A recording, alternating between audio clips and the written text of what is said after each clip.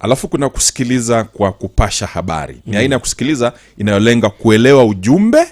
Baada ya kuelewa ule ujumbe wa mzungumzaji hii ndio aina ya usikilizaji unaofanyika katika mazungumzo ya kila siku. Mm. katika miktadha mingi ya ufundishaji. Mm. kule kusikiliza kwa kupasha habari. Naam. alafu mara nyingi kusikiliza kwa kupasha habari pia wanahabari wanatumia hii nini sana usikilizaji huu. Ndio vizuri unasikiliza. Kwa mfano wakienda katika mikutano hii ya wanasiasa wanasikiliza. Alafu wale wa redio alafu wanaandika sasa ndo anakuja kutupasha habari. Huo unaitwa usikilizaji wa kupasha habari. Mm. alafu kuna kusikiliza kwa um, kusikiliza kwa makini. Tushazungumza kwamba unasikiliza kwa makini alafu baada ya kusikiliza kwa makini unafanyia ujumbe huo. Je ujumbe huo uliopata una ujumbe gani? Ama habari hizo ulizopata una ujumbe upi?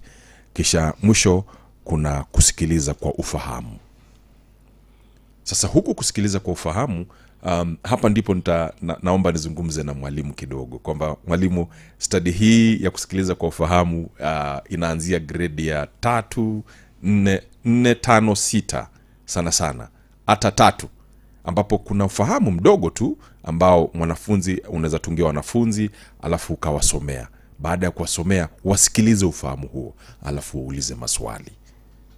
Na ni stadi ambayo inatathminiwa katika cbc inatathminiwa katika cbc kwa hivyo ni vizuri tufanyie kazi na tu, tufunze wakati unapofunza kusikiliza na kuzungumza.